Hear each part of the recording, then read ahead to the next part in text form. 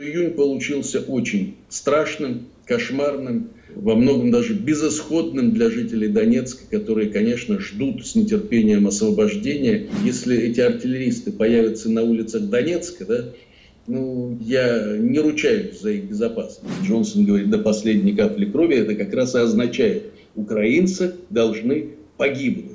Вот, собственно, формула, которую отвели, э, та судьба, которую отвели украинцы. Украина как член НАТО просто невозможна с точки зрения национальных интересов обороны и безопасности и Российской Федерации, как верно сказал президент Беларуси Лукашенко, и для Беларуси. Вот это мы знаем точно. Чем дальше Зеленский под нажимом Джонсона и компании будут откладывать мирные переговоры, тем жестче будут условия Российской Федерации, и тем меньше останется от Украины, ежели чего-то останется.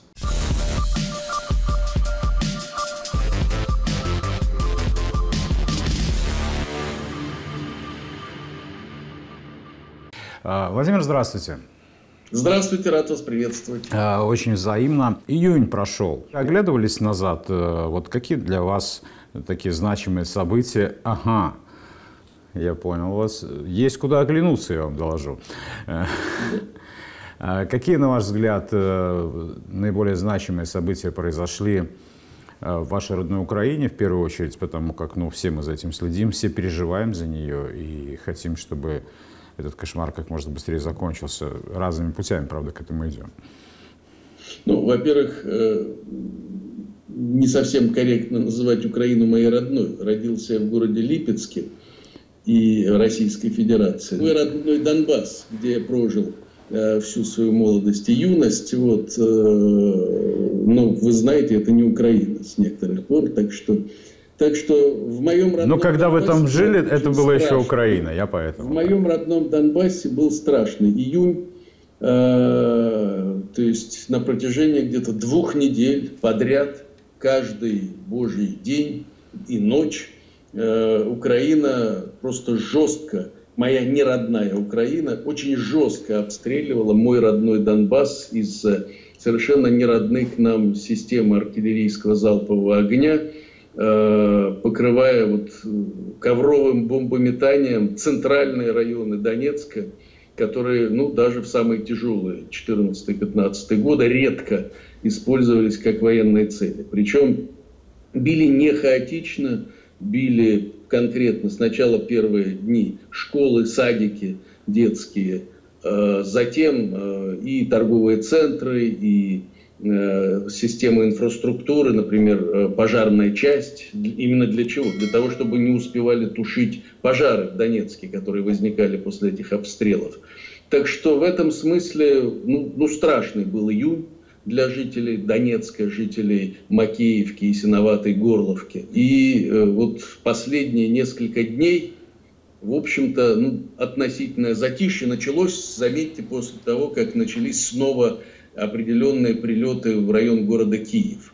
Не знаю, связано это или не связано напрямую, но думаю, что определенная закономерность в этом есть. Так что июнь получился очень страшным, кошмарным, во многом даже безысходным для жителей Донецка, которые, конечно, ждут с нетерпением освобождения и видят, что с каждым днем становится все хуже и хуже.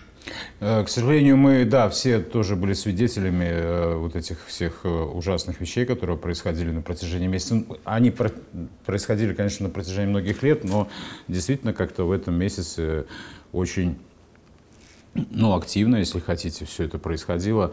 В связи с этим сразу, наверное, два вопроса.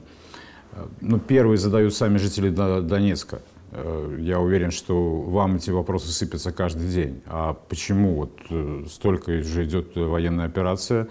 Э, вроде как мы должны жить спокойнее. Задают, конечно же, и спрашивают все доколе, и когда уже наступит этот самый долгожданный день, День Победы и День освобождения Донбасса.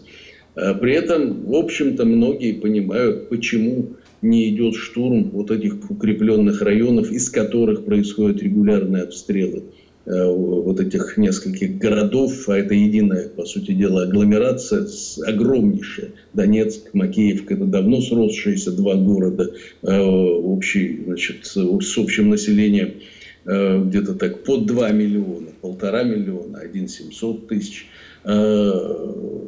Плюс еще Горловка и Синоватая рядом здесь фактически. Так что действительно ждут с нетерпением, когда закончится это, но понимают, что в лоб атаковать укрепленные районы в промзоне Авдеевки, это терять людей, много людей, эти районы укреплялись очень серьезно на протяжении 8 лет с привлечением лучших западных специалистов фортификации.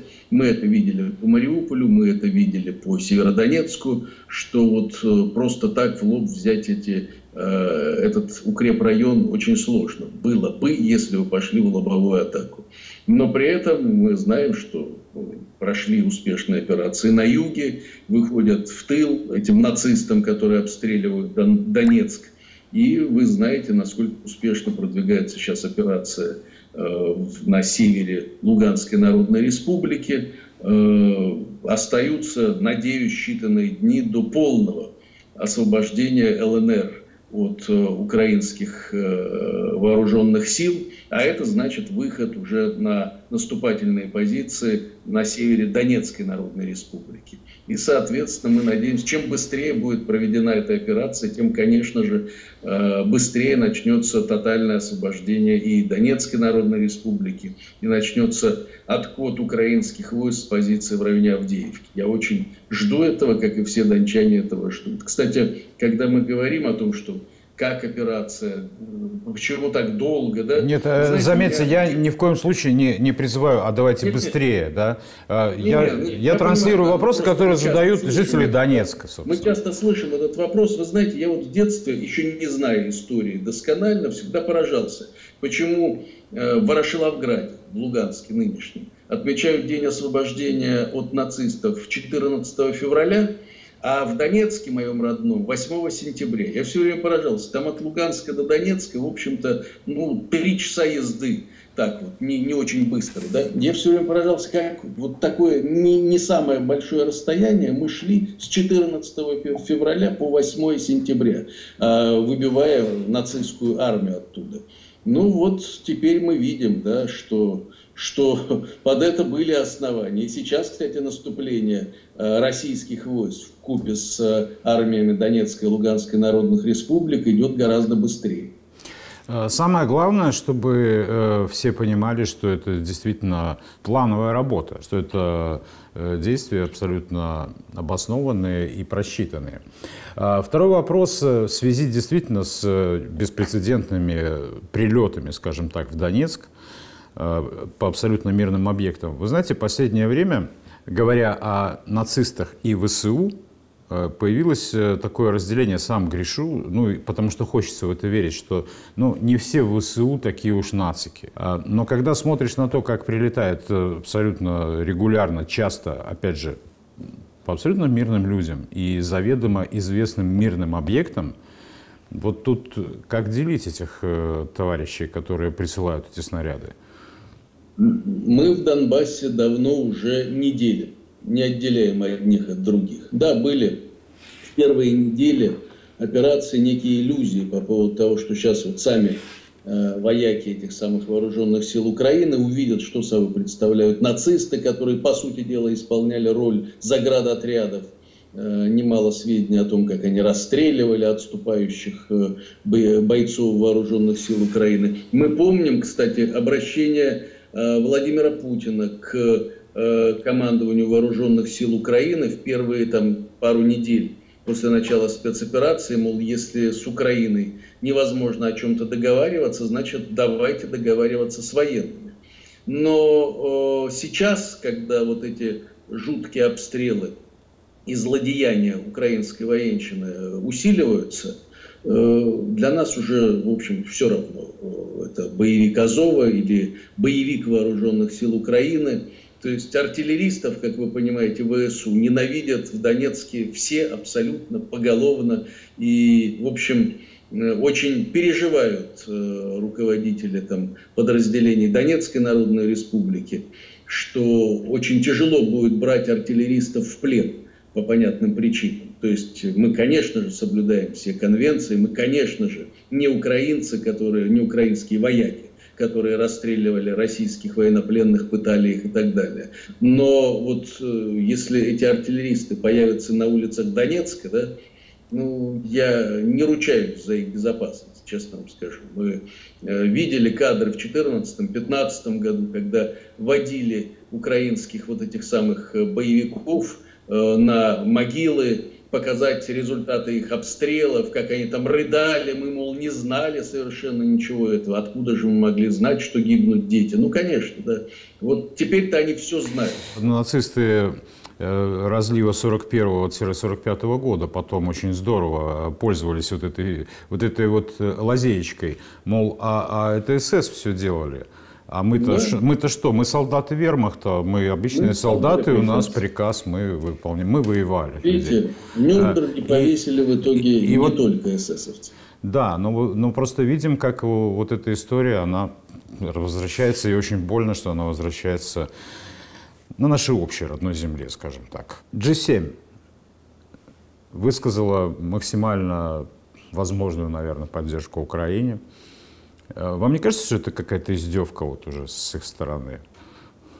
Да вы знаете, ну, может называть и издевкой. Мне, мне вот что издевкой показалось, это заявление Бориса Джонсона на полях э, этого саммита G, G7, G7 э, насчет э, того, что он призывает ученых Украины переезжать в Великобританию из а. Ну, Очень хорошая поддержка для Украины. Да. Вымыть еще и мозги, помимо того, что он велел всем украинцам погибнуть. А вот те, кто там у вас имеют какие-то знания, мы так, чтобы их перевезем себе. Вот то, что сейчас делает Британия, это, по сути дела, а, призыв к э, украинцам погибнуть тотально, всем. Вы помните, ведь Борис Джонсон заявил вот эту свою формулу до последней капли крови еще до начала спецоперации. Еще, э, я вот сейчас боюсь ошибиться, то ли 1, то ли 2 февраля. Да-да-да, было, было. И он заявил о том, что он поставил какую задачу Украине. И мы видели, как он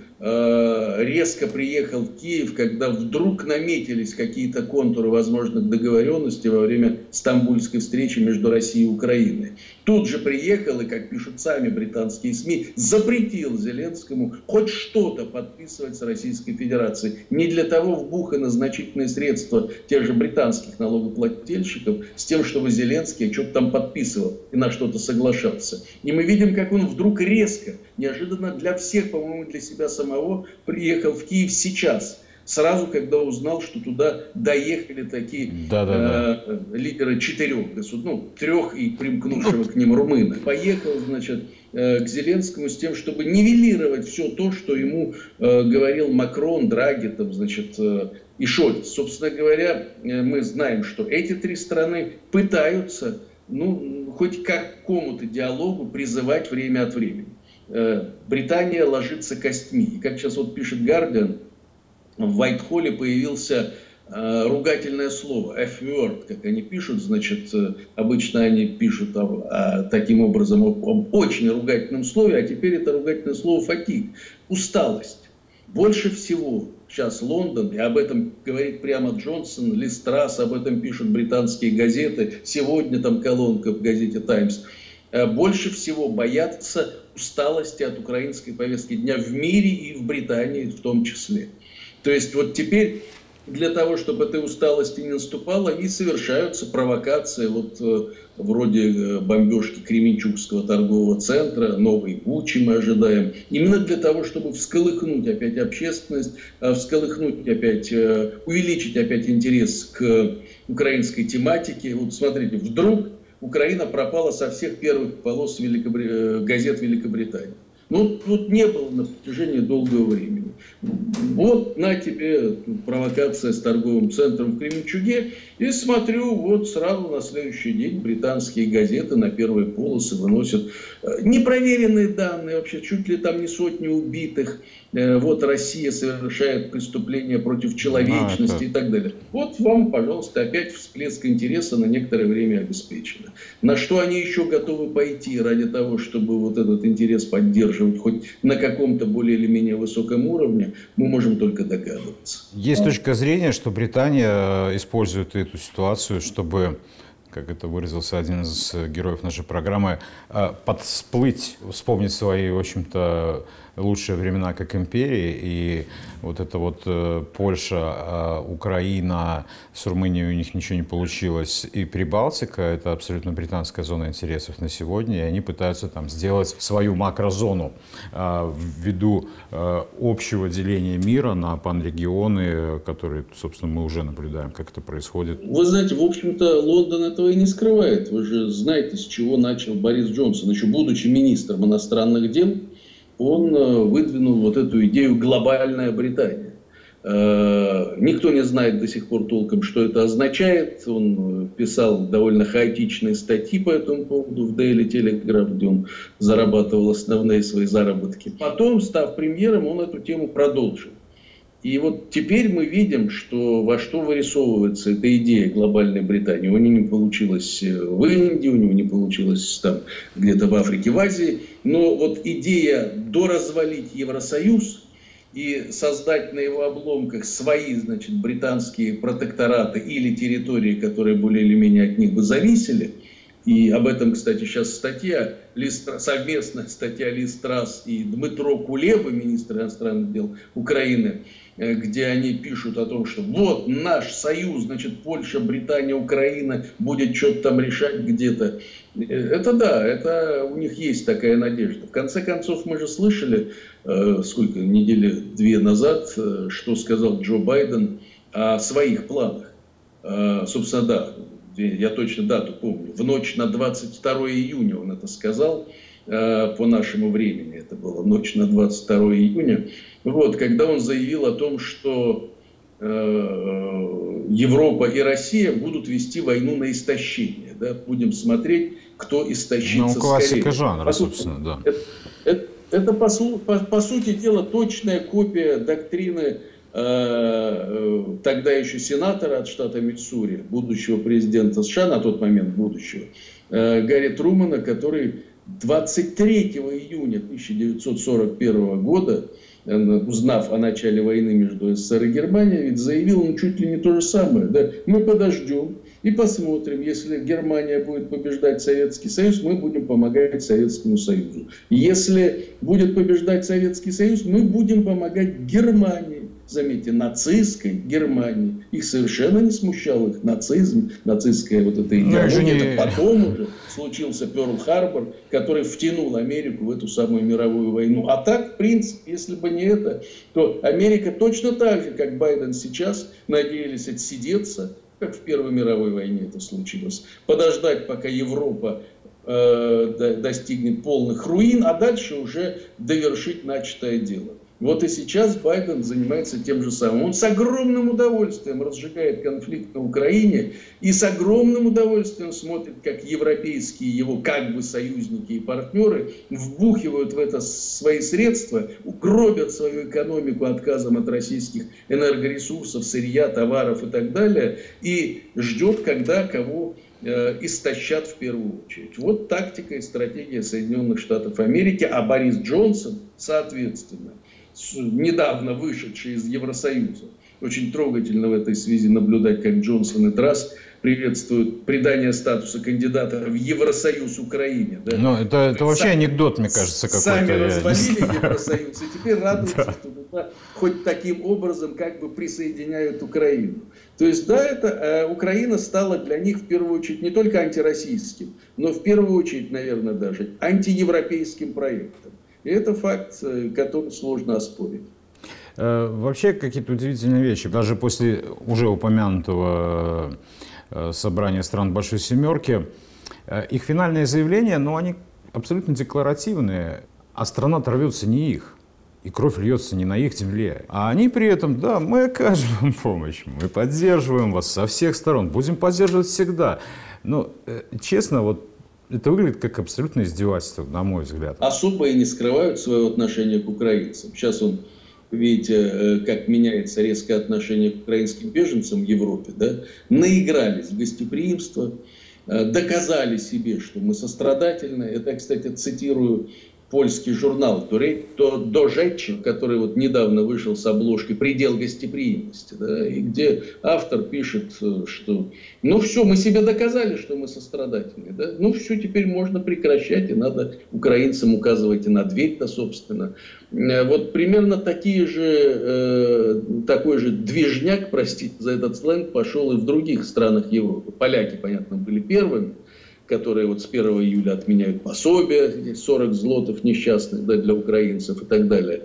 А вот сейчас э, из Нидерландов – где, собственно, не так уж и много э, доехало украинцев. Ну, страна, собственно, небольшая, там много не поместится. Вот, но э, при этом мы видим, да все уже, ну как, вот, вот взяли, наигрались, дают в приюты, вы понимаете, пишут сейчас вот голландская пресса, привозят этих самых, а это же в основном женщины и дети, как вы понимаете, привозят на порог центра для беженцев и там бросают, как подкидыши, как собачек, знаете, бездомных. И вот это, конечно, свидетельствует о том, какое истинное отношение Запада, европейцев к Украине и к украинцам, жителям, населяющим ее. Мы, конечно же, так поступить не можем по отношению к э, украинцам, к украинским гражданам. Ну, вот очень хорошо на эту тему говорил э, профессор Истафьев вот в нашей программе э, об отношении для нас, э, ну, для, для россиян, для белорусов, для всех. Жители Украины – это люди – которые вызывают да. эмоции. Да. да, возможно, мы сейчас э, очень сильно конфликтуем, но, но все равно это люди. Для них, жители Украины, это юниты. Э, абсолютно бездушные какие-то э, не существа даже, а просто вот клеточки на карте в компьютерной игре какой-то, которую можно... Ну, потерял, хорошо, выращу, ну, вот, вот ну, такое в отношение. И в этом плане тактика, стратегия всего, всего коллективного Запада именно заключается в том, чтобы пожертвовать миллионами украинцев и, собственно говоря, государством Украины ради того, чтобы хоть на какое-то время ослабить Российскую Федерацию. Они этого особо и не скрывают. Ну, конечно, не такими словами прямо говорят, но извините, когда Джонсон говорит до последней капли крови, это как раз и означает, украинцы должны погибнуть. Вот, собственно, формула, которую отвели, э, та судьба, которую отвели украинцы. Как думаете, что ждет дальше? Уже, наверное, территорию, которую мы привыкли считать Украиной. А, вы знаете, вот э, я себя споймал на мысли, вот когда речь идет об Украине, ну, когда читаешь какие-то новости, э, я перестал обращать внимание на то, что э, говорит действующий президент Украины Зеленский. Просто вот, ну, вот серьезно, если еще как-то э, какое-то время назад, ну вот он там сказал, он там сделал что-то, ну там э, открываешь заголовок, пытаешься понять, а что же он сказал, а, то сейчас вот дальше заголовков, вот не знаю почему, э, у меня нет, да, ну, дальше нет, желания нет, нет и смотреть, а что, потому что все это не важно. Как, как нет, мне, конечно, положено все внимательно читать, анализировать и слушать.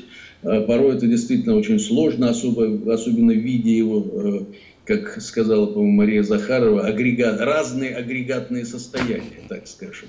Вот. Э, но при этом, почему, на мой взгляд, важно слушать и слышать то, что говорит э, или то, что пытается показать Зеленский? Да потому что он ведь озвучивает то, что ему велят озвучить, по большому счету. То есть иногда бывали у него случаи, когда прорывалось, знаете, вот особенно в тот период, когда он уже действительно пошел на некие договоренности и даже обещания не размещать НАТО, не вступать в НАТО. Ну, помните, то, до да, чего мы уже договорились предварительно в Стамбуле, пока приехал опять-таки Борис Джонсон.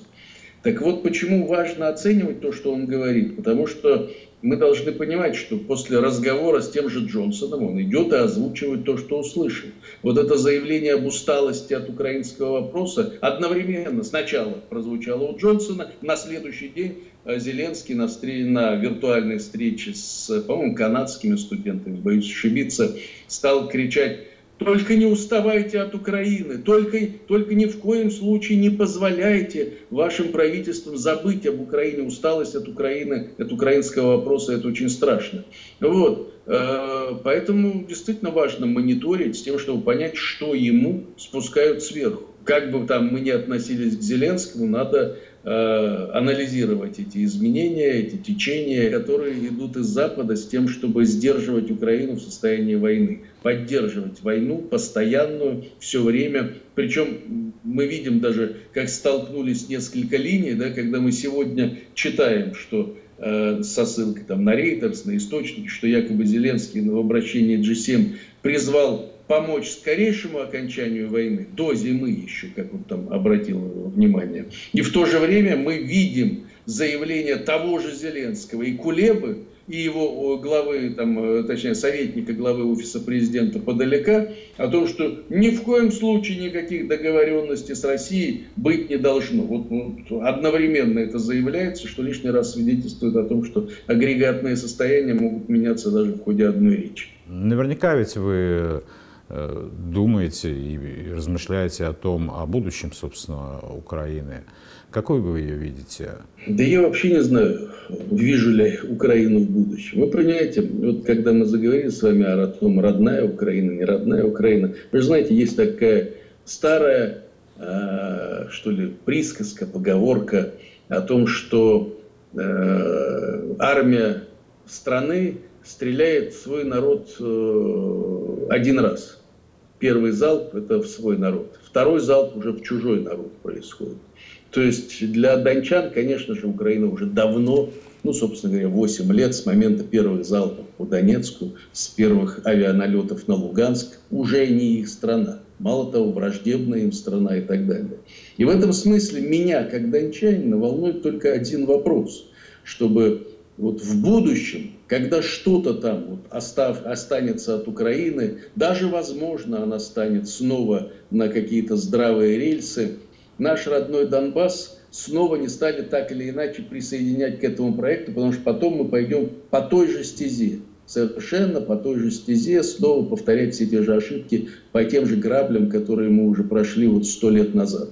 Когда по чьей-то, ну, собственно, мы знаем, по чьей э, указки из Москвы, да, было решено, а давайте вот русский Донбасс и русский Крым присоединим к Украине. Ну, сто лет назад Донбасс, а потом позже, спустя еще 50 лет, э, Крым. Так что вот, вот таких ошибок больше совершать э, нельзя, и я надеюсь, что уже не будут совершать никогда, поскольку уже все это проходили. Хотя, как историк, знаешь, что, к сожалению большому, вся наша история и российская, ну и, соответственно, наша общая, а нас это сплошные грабли. Так что в этом смысле ничего, конечно, исключать нельзя. Но вот именно поэтому я больше всего боюсь именно этого сценария. А мол, типа, а вот давайте, вот придет, придут здравые люди в Киеве, да, и давайте, чтобы значит, соблюдать баланс, чтобы никогда в будущем э, Украина или что там от нее останется не пошли в НАТО, мы присоединим еще парочку русских регионов к этой территории. Это снова потом украинизация, это снова потом э, те, же, те же грабли и снова конфликт, который просто отложат на будущее. Э, а что станет с Украиной? На самом деле сценариев очень много. Я знаю одно, Украина как член НАТО просто невозможна с точки зрения национальных интересов обороны и безопасности и Российской Федерации, как верно сказал президент Беларуси Лукашенко, и для Беларуси. Вот это мы знаем точно. И вот этого Россия не может допустить ни при каких обстоятельствах. И дальше уже сценарий развития в том, что у нас Донбасс называют УЧУ, э, оставшаяся часть Украины, да, вот э, они могут быть действительно разными. Я не исключаю, что там будут продолжаться центробежные тенденции. И многое будет зависеть от того, куда максимум дойдут э, российские солдаты. Ведь вы же понимаете, что сейчас уже все можно было бы остановить, и, соответственно, и наступление остановилось бы. Если бы Зеленский сразу, как только началась спецоперация, согласился на признание независимости ДНР и ЛНР. Владимир Путин об этом сказал четко, недвусмысленно в первые же дни, что э, вот мы вступаем в переговоры, в Белоруссии, кстати, да, и Украина должна понимать, что если вот по мере того, как она не договаривается, э, дальнейшие условия будут ужесточаться. То есть ясное дело, что вот эти идеи, которые озвучиваются сейчас там в Италии, скажем, или там где-то еще в Европе, да, собственно, и Зеленским самим. А вот возвращаемся к линии 23 февраля Нет, и дальше начинаем. Ну, ну вот не для, для того мы, да, все это, все эти жертвы э, допускали. Не для, для того мы все это делали, чтобы потом откатиться на те же позиции и дать снова обстреливать Донбасс. Конечно, это идея фикс, бредовая идея, о чем Лавров сказал, комментируя итальянскую инициативу. Ясно, что чем дальше будет продвигаться российская армия, чем дальше Зеленский под нажимом Джонсона и компании будут откладывать мирные переговоры, тем жестче будут условия Российской Федерации, и тем меньше останется от Украины, ежели чего-то останется. Самое главное, чтобы в российском обществе вот та самая усталость, о которой вы говорили, не появилась, потому что сейчас, на мой взгляд, очень важно, очень важно вот это дело довести все-таки до конца. В России это в этом плане, судя по всем соцопросам, я уж не говорю про позицию СМИ и так далее, по опросам, ну, подавляющее большинство прекрасно понимают, что война идет не за Украину. Война идет за э, сохранение Российской Федерации. Война идет за Россию. Ну и, конечно же, за Белоруссию, о чем были, было сказано не раз уже совместно и Путиным, и Лукашенко. То есть мы понимаем прекрасно здесь, в России, что э, речь не только о судьбе ДНР, ЛНР или Украины. Речь идет о всей системе Э, международных отношений, глобальных международных отношений, о чем Россия говорила в декабре, предлагая коллективному Западу остановиться на той черте, до которой они довели данную ситуацию. Если бы услышали тогда на Западе и все-таки велели Украине остановить свое авантюрное наступление в Донбассе, возможно, мы бы еще в какой-то э, много лет жили бы в такой ситуации, в подвешенном состоянии э, клеющего конфликта в Донбассе. Но Запад э, предпочел путь конфронтации, и России не остается никаких иных способов защитить свои собственные национальные интересы. Речь о выживании русского народа и народов, проживающих на территории России. В этом смысле это кардинальное отличие от э, усталости от украинской тематики в Британии и тем более в Соединенных Штатах Америки. Мы понимаем, что боремся не просто где-то там за гипотетические ценности, которые там рисуют якобы Запад, плюя в то же время на эти самые ценности. Но еще раз говорю, я боюсь, что Украиной или того, что останется от этой Украины, мы не ограничимся. И это тоже очень сильно тревожит. То, куда движет сейчас Запад, то какая риторика там сейчас развивается – а, ну, вы меня простите, вот сегодня на первых полосах британской прессы да, сообщение о том, что вот британская армия должна готовиться к войне с Россией. Из уст начальника генштаба Британии. Это не просто там от какого-то левого политика, там, депутата или еще чего-то. Так что, э, к сожалению большому, вот тот порог опасности, который существовал на Западе, он сейчас очень сильно опущен, его размыли, причем делали это сознательно на протяжении длительного времени. Я вот помню еще лет 10 назад, я вот стал бить тревогу, например, а, в различных средствах, наших средствах массовой информации, когда увидел первые только публикации о том, что ядерная война это не так уж страшно, о том, что ядерная, опасность ядерной войны преувеличена, это все сделало КГБ в 70-е годы, провернув блестящую операцию «Убеди» через индийских ученых, значит, заявив о том, что э, после ядерной войны наступит ядерная зима, которая может похоронить все живое. На самом деле все не так страшно. И вот вы знаете, вот, э, вот эта операция по Э, нивелированию порога опасности на Западе, она длится уже долго, и мы сейчас видим результатов. Да? Уже спокойно сенаторы могут рассуждать, а давайте нанесем превентивный ядерный удар по России. Сенаторы, действующие. Ну, то есть это говорит о том, что действительно э, мы стоим на грани очень, очень страшной катастрофы и будем надеяться, а кто верующий будет молиться э, за то, чтобы э, все-таки где-то на краю мы, как в 60-е годы, смогли бы остановиться.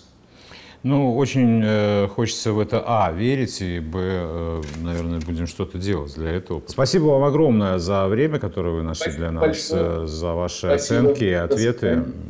Всего доброго и удачи.